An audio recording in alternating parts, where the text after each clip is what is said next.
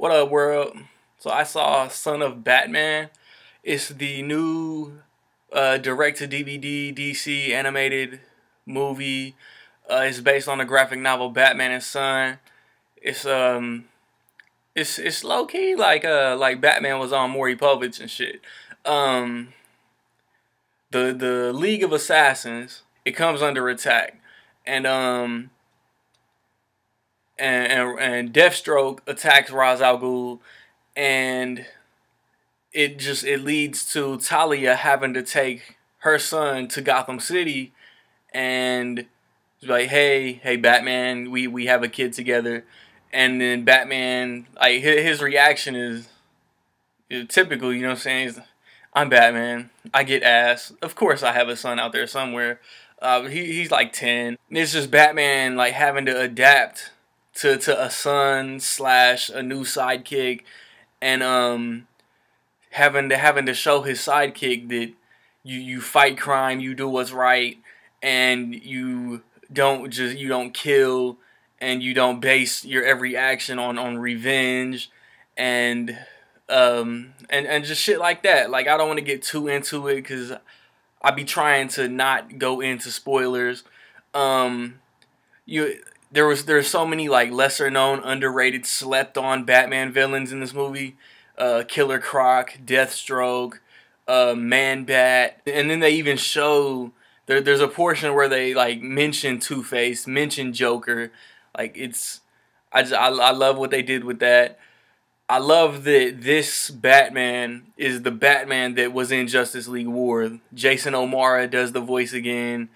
Um, he looks exactly the same. It's the new 52 Batman that was introduced, like I said, in the Justice League War movie from a few months ago.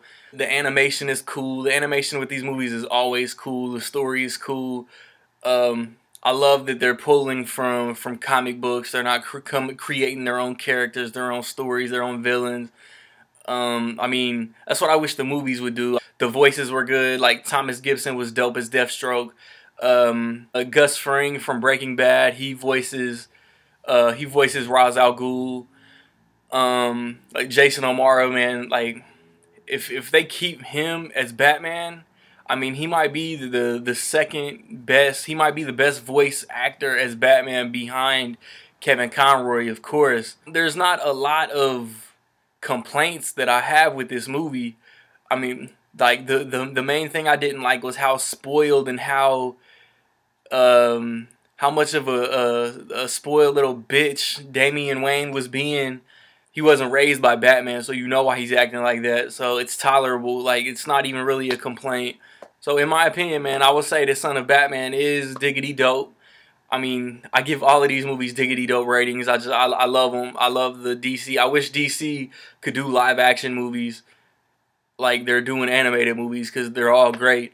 I mean, have you seen Son of Batman? Um, do you plan on seeing it? Did you buy it? Um, I mean, what is your uh, favorite? I had a question in mind earlier, and now I forgot it. I don't want to ask the same question. What's your favorite DC animated movie? Cause, like mine, like I, I probably say I've reviewed like I've reviewed these movies for like a year and a half now, and I think every video I do these movies, I say my favorite one is Under the Red Hood this comes close to being as, as good as Under the Red Hood, but it's it just it still didn't make it. Um, say DC decides to focus on characters other than Justice League as a team, Superman and Batman. Who do you want them to focus on? Do you want to see Aquaman get his own animated movie? Flash. We kind of got uh, the Justice League Flashpoint Paradox was Flash centered, but it wasn't Flash without the team. You know. Um, you want another Green Lantern, Cyborg, Martian Manhunter? Um, I mean, I'm gonna I'm gonna buy it no matter what they put out. So I mean, it, it doesn't make a difference to me, man. Um, I got my neighbor's review coming up. I'm, I'm I'm slipping on my raps. I'm gonna end up dropping a rap here soon. Um, I just got a lot of shit going on, man. Peace.